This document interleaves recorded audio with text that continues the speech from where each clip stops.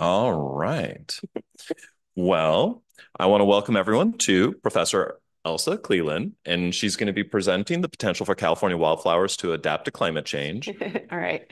So thanks everyone for being here. Um, I, you know, I'm very excited to present some of my work from my lab today. And I think a lot of times when we talk about climate change, it feels really heavy. And uh, my sort of favorite thing about this project is that to me, it feels very hopeful. And so I hope that you find that too. And for anyone joining us online, I hope that your students feel that way as well. So as we go through the talk, I'm going to be focusing on this lovely little orange flower here, the California poppy.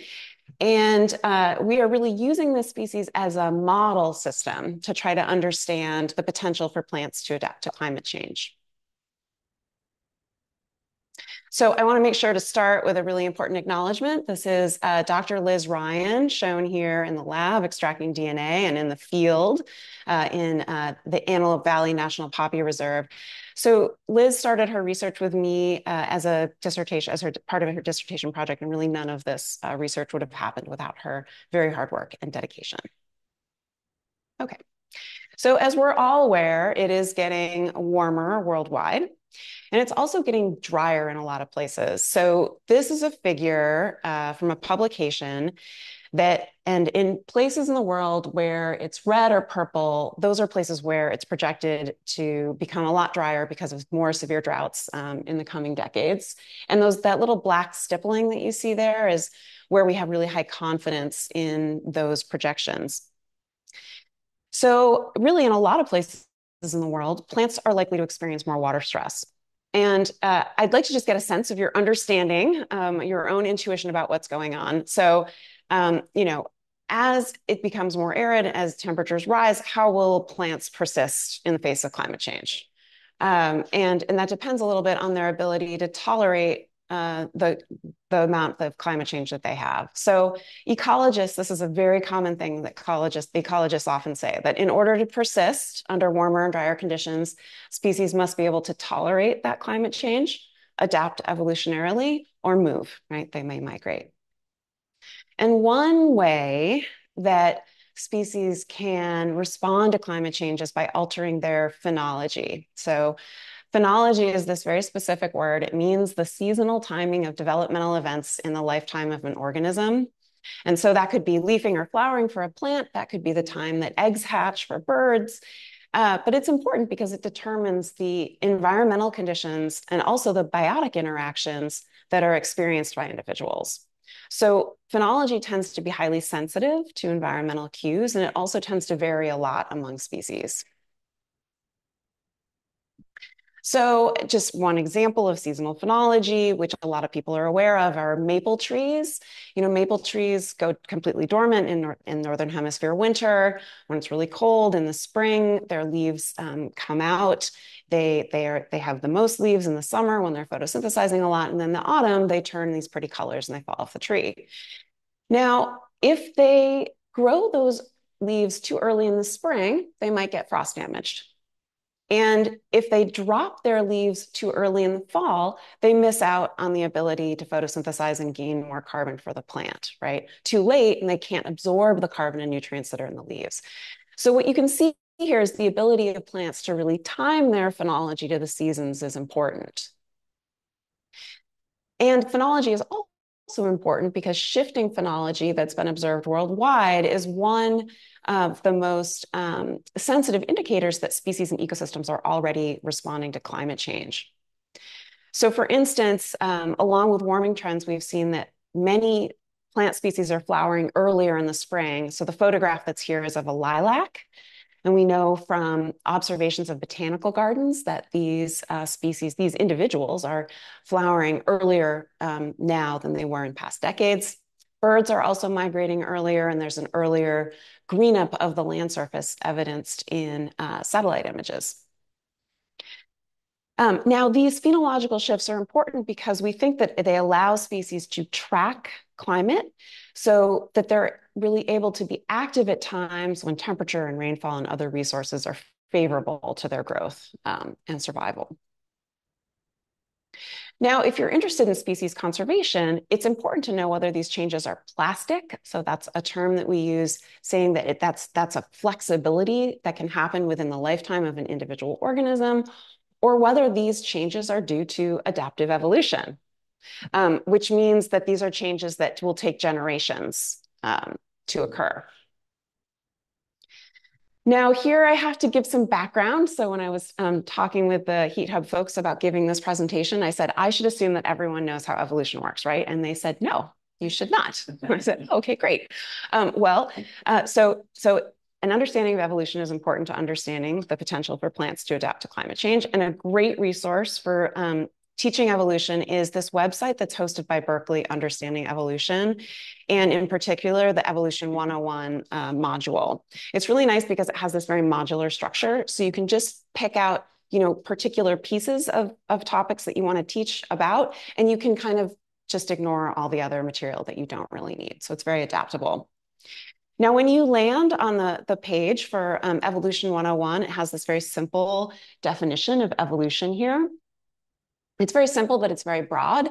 It really goes from microevolution within species to the kind of evolution that happens over millions of years and generates uh, the incredible diversity of uh, biological diversity of species that we have today. But for this particular project, the important uh, background for students to understand is microevolution, this idea that is simply defined, where evolution is very simply defined as changes in the frequencies of different gene variants within a, within a population over time.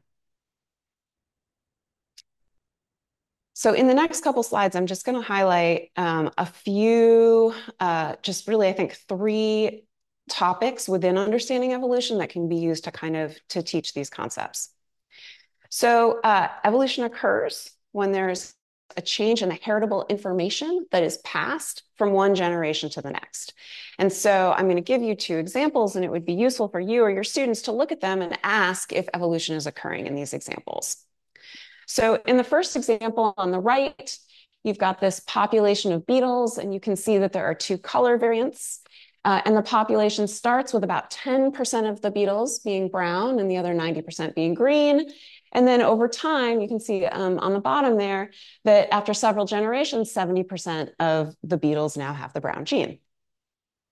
Now, there's another example here on the left where there's a pop this same population of beetles, um, but it experiences a drought and they become food restricted. And as a result, um, for multiple generations, they're smaller. But after the drought, once there's enough food, they return to kind of their original size. So um, talk amongst yourselves and it, is evolution occurring in either of these examples and why? Um, so the, so this example on the right, where you have a change in the frequency of different genes in the population, that is absolutely evolution. That's, that is the definition of microevolution, right? Here on the left, what we have are what these we would have called these quote unquote plastic changes. So these are individuals, these individuals are bigger or smaller depending on the availability of food, but that that that size is not going to be passed on to the next generation, right? So the next generation will have equal opportunity to be big or small, depending on um, the food that they uh, have available. So, but part of this conversation was really interesting because what I listened to, I, he I heard people talking about different mechanisms of evolutionary change. So there are many different mechanisms of evolutionary change. So one that I think a lot of people think about is mutation, right? That there's something new that's totally new that's arriving in, in that, that has never been seen before. So that is certainly a really important mechanism of evolutionary change. But the mut- but mutations are random. They are um, most often deleterious. They most often lead to low fitness when they appear. If not, they can be neutral. They're very seldom beneficial. And so we make the assumption that the beneficial mutation rate is going to be so slow that that's not what's going to save uh, species from climate change, right? That's not going to happen realistically within the next couple decades. So we kind of ignore it, really, in, um, when we're thinking about this. But then there's um, genetic drift. So this was this random, you know, what happened if sort of something random happened? Someone stepped on the green ones, and so only the, the brown ones were left, right? That's called genetic drift. And that is a mechanism of evolution because it results in a different frequency of gene variants in the next generation, right? So even though it's random, yeah. Uh, mutation is random, genetic drift is random. Then there's migration, right? So you have one population um, over there and one population over here. They might look different. In this case, they're brown and green, maybe because of genetic drift, right? Now, if you have individuals that move across the landscape, migrate from one place to another, that, that is a very, very important mechanism for maintaining genetic variation across the landscape. Once again, that can change the frequency of genes in the population over time. So migration is actually a mechanism of um, this kind of microevolution. And it's really only this last one, natural selection, where we're making some kind of an, we're, we're inferring that um, in, that the traits, these heritable traits of individuals are changing over time because those traits are, are beneficial. That's really uh, where we're inferring natural selection. So there, one, there would be one more, if we want to, we can have people interact again. There would be one more opportunity here for students to interact, especially if they've learned about this before it'd be a great time to ask, you know, what are the requirements for evolution by natural selection? Uh, this is this is a question that you can ask anyone at any stage who has who has learned about evolution, and they can and they can answer it. All right, so we're, we're talking about some famous examples here where there was a white moth and then over time it became brown when the environment changed, right? So there are a few things that happened in that case, right? So the first is that there was variation in traits right? So variation is absolutely a necessary requirement for evolution by natural selection. So you've got to have variation in traits. Those traits have to be heritable. That means they have to be passed on faithfully from one generation to the next, right? And then you have to have differential reproduction. So you have to have some sort of selective agent where whereby individuals with some heritable traits have more offspring than others right? They could have more offspring because they produce more offspring, or they can have uh, more offspring because they're the only ones that survived. But either way, there has to be sort of this variation in uh, reproduction. All right. So let's let's actually go now with that background to this question that I started with. What's the potential for plants to adapt to climate change? And I like to say that I think some of this this potential is hiding in plain sight. And um, I say that because if you think about it, really widespread species are already experiencing different climates across their range. So if you think about the state of California, we have really remarkable climate gradients in California. So this is a figure that I think shows that nicely. The colors are showing an aridity index. And what this does is it combines temperature and rainfall into one number. And it, so it shows that, for instance, in Northern California, in these green or blue colors, it's really cool and wet. And in Southern California, where it's orange or red, it's really quite warm and dry. And so if you think about a species that's found all the way across California, you would expect that there would be genetic variation in the populations across the species range because those populations have historically experienced different climates.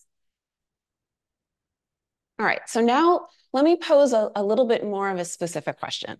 So does genetic existing genetic variation across a species predict the potential to both tolerate and adapt to climate change.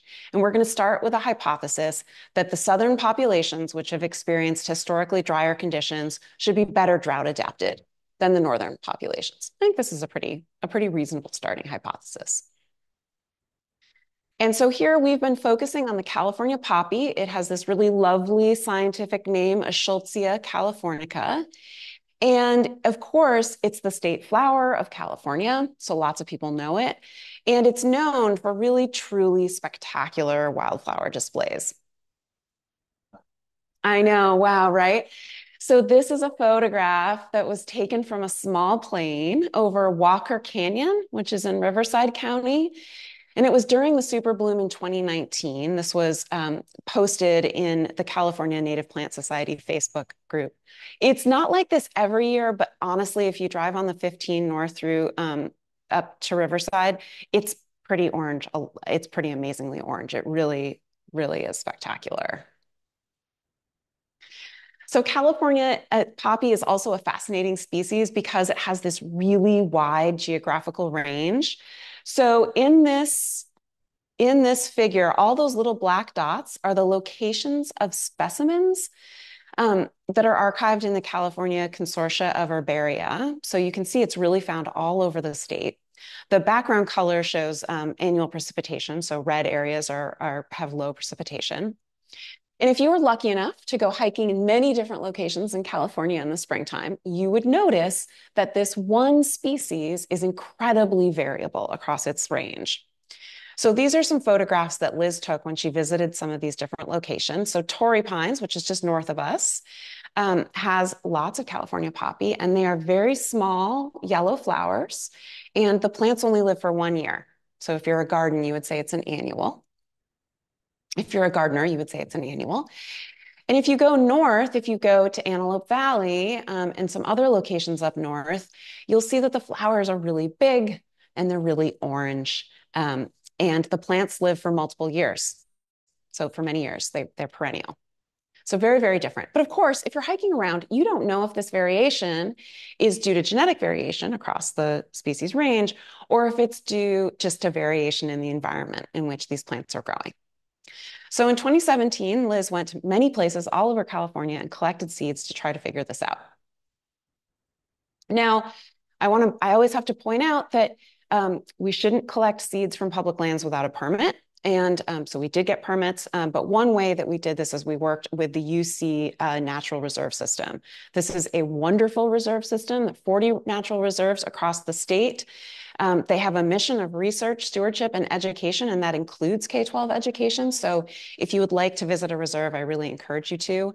Um, you can see the different colored dots here indicate the different U University of California campuses that administer the reserves.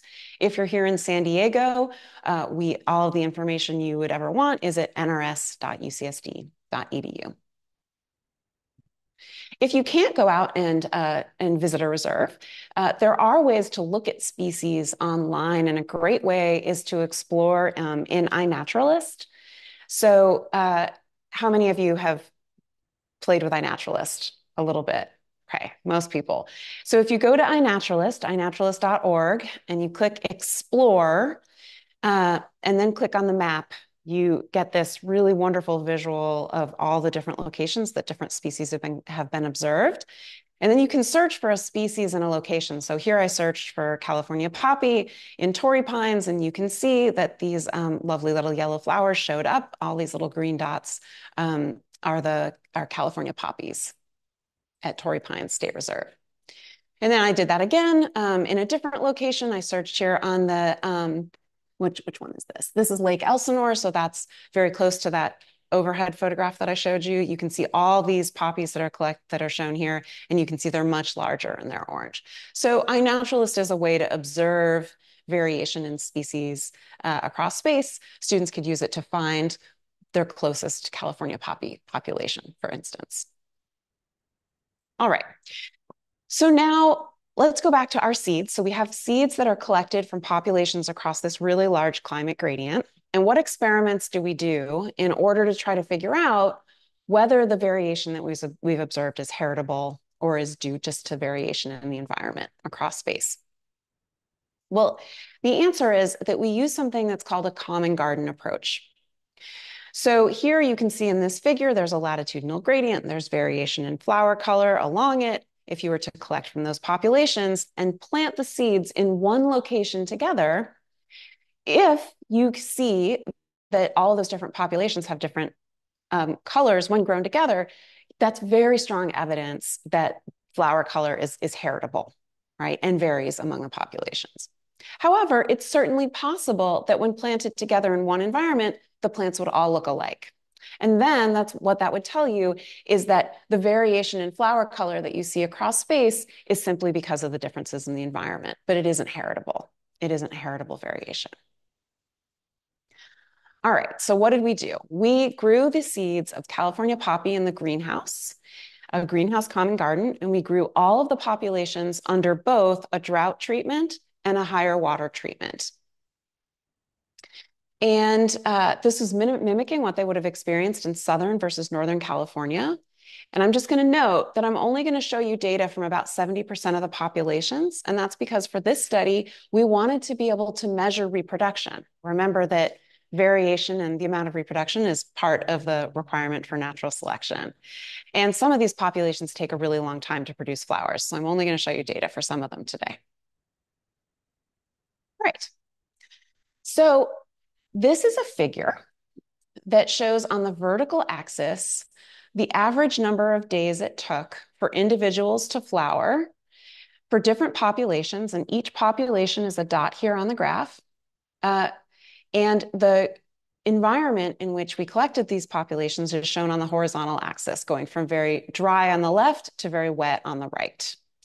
And um, I'm, I'm wondering if we can invite the folks on Zoom to interact with one another and do kind of a think, pair, share, although there might be, it might be more than a pair of you.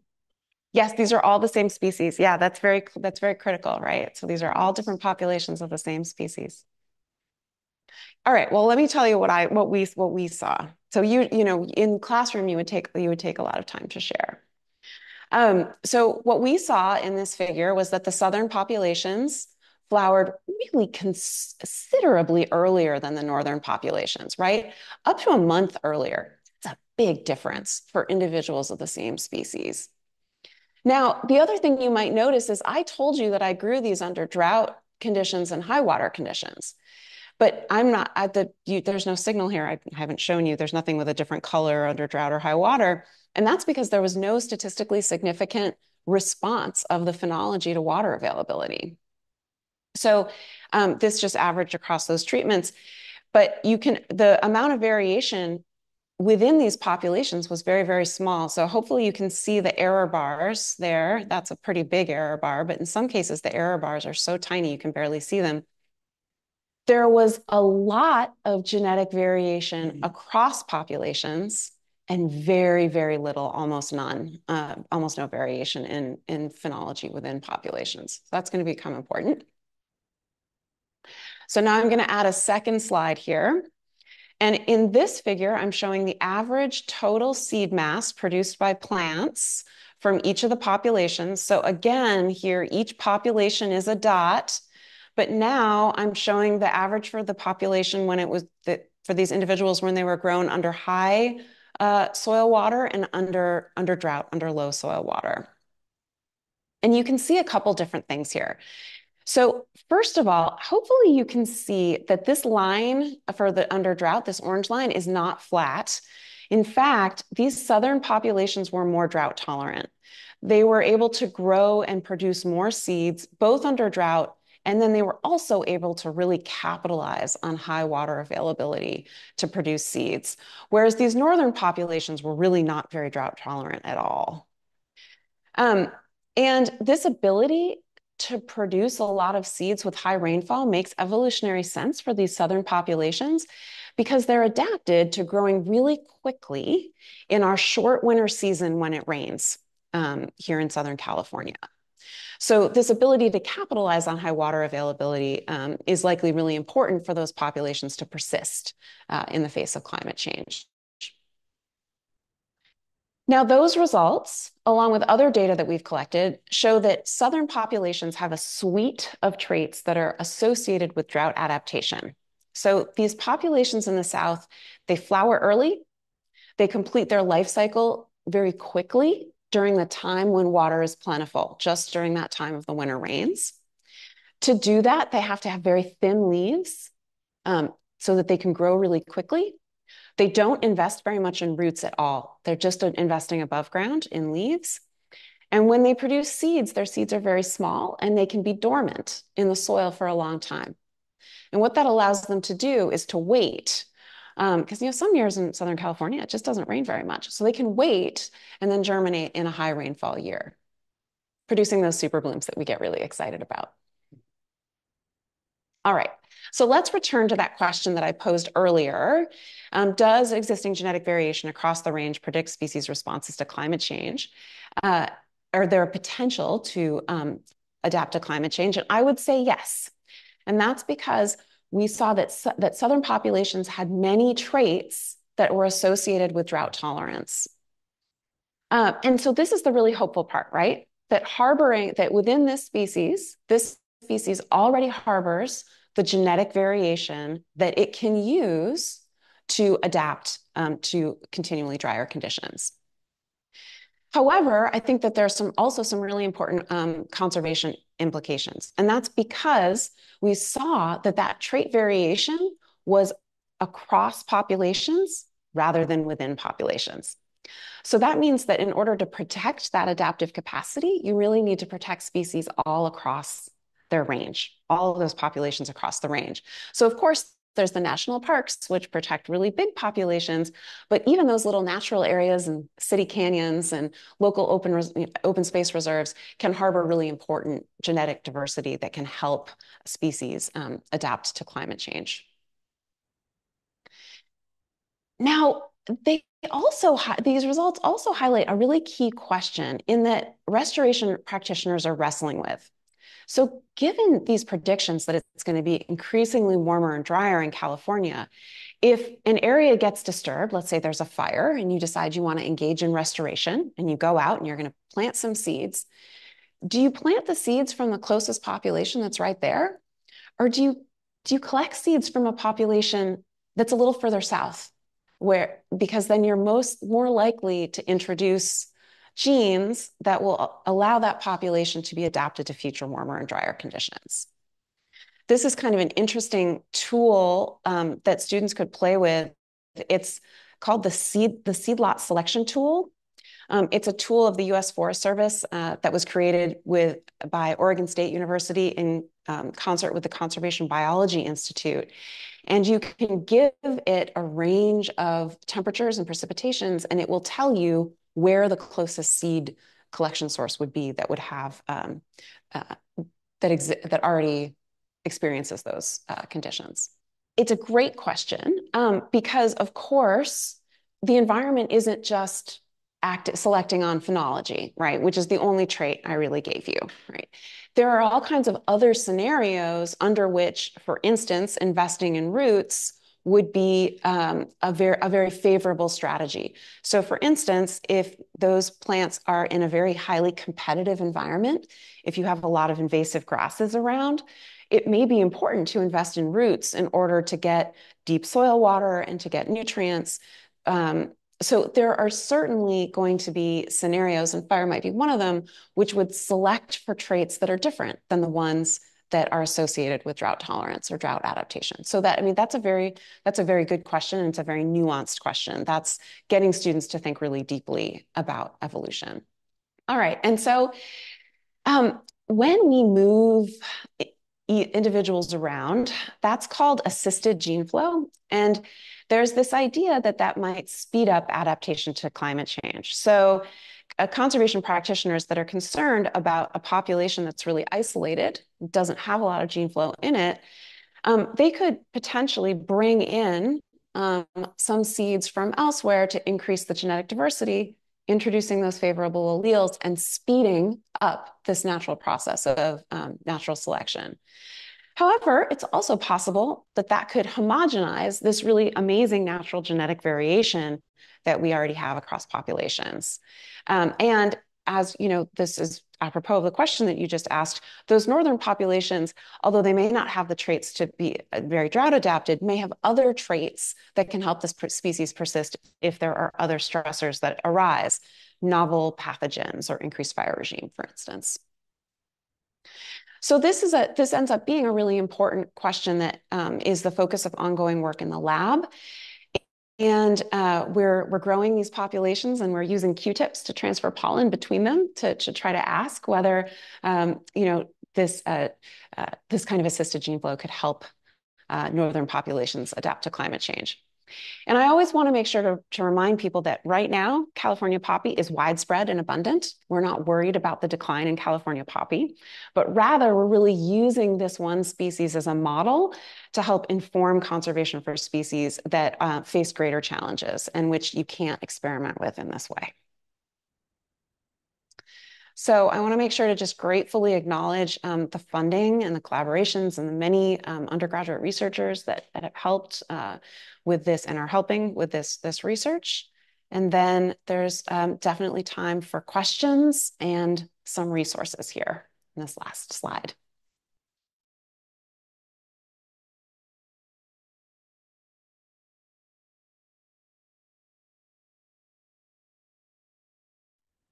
There are a number of really rare species in uh, in California. Uh, San Diego County, uh, uh, this was a study from a long time ago. San Diego, San Diego County harbors the greatest number of uh, threatened and endangered species of any county in the uh, in the in the United States. And so um, I'm, I'm going to have trouble naming these really rare species off of the top, top of my head. However, a great resource for finding them would be to go on the U.S. Fish and Wildlife website and look at the list of federally, federally endangered species, because those are the ones that um, that we've determined are really the ones that are at risk of um, becoming extinct. And for many of them, it's because of habitat loss, um, but climate change is thre threatening that, right? Because remember I said that species have to be able to tolerate climate change, adapt or move. And so when their when their range is really restricted, it's impossible for them to move across the landscape. So those would be some good ones to look at.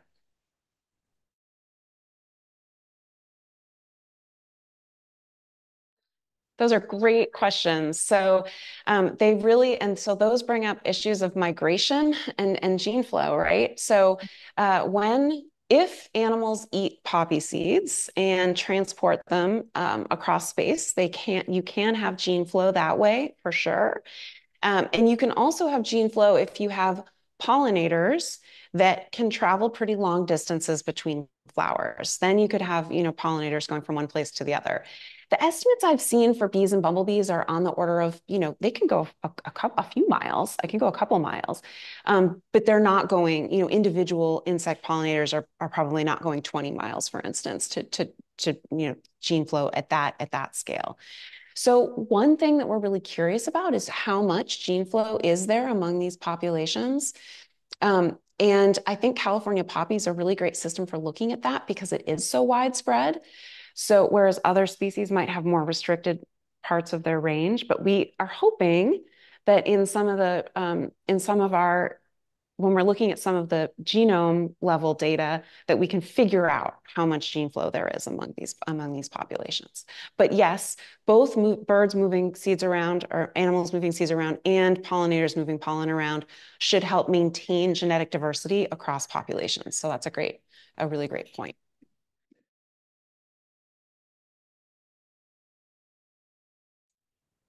I think that for a restoration to be successful, if you want to restore many species, you have to you have to kind of try. You got to go out there and and try to add them all, and then they may or may not compete with each other, and and you may or may not be successful in getting all of them there. My experience with California poppy in the South is that it it coexists pretty well with other wildflowers, and I think that's why we see it as part of these giant wildflower, you know, super blooms. In Northern California, it tends to get kind of outcompeted um, by other by other species, and so you find it in kind of patchy distributions. So um, I, that may be an un, a, sort of a dissatisfying answer, but I think I think it depends. But if but restorations are generally more successful when you try to put more things in.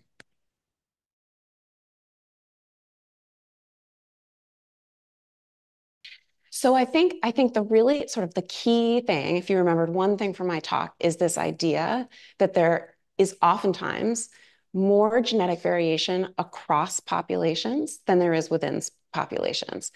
And so really it's this idea that um, that protecting adaptive capacity really means protecting those populations across environments, you know, across space.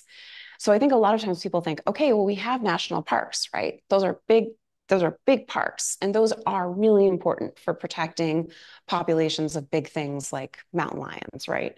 Um, they're very, they're very important. But it's also important that can't protect the adaptive capacity for, for species because all of the genes that are necessary to adapt to, to climate change are not going to be held just in those one in those those locations. They're also held in all these little locations. So i think the reason i think that's very hopeful is that um, it means that you know if you're involved with your local state park or your local open space and you're out there you know maintaining the trails and picking up trash and, and reminding people not to pick the wildflowers you're you're protecting adaptive capacity right?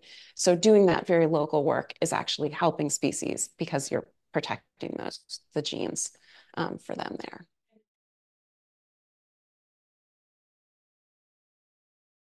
Yeah, so using the, the vocabulary of genotype and phenotype, and thanks for telling me because I actually wasn't sure if that was part of the vocabulary that was used. Um, so the idea of the phenotype is what a plant is what a plant looks like. So when I was talking about traits, um, inheritable traits, I was talking about well, I was talking about the phenotype, and then the genotype is the the genes that are that are associated with those traits, right? Um, so uh, but I remember when I was talking about plastic changes, that's where you can have a change in the phenotype with no change in the genotype. So the plant looks different under one set of conditions than another, but it's not because they're it's not because they have different genes. It's simply because the expression of those genes is different.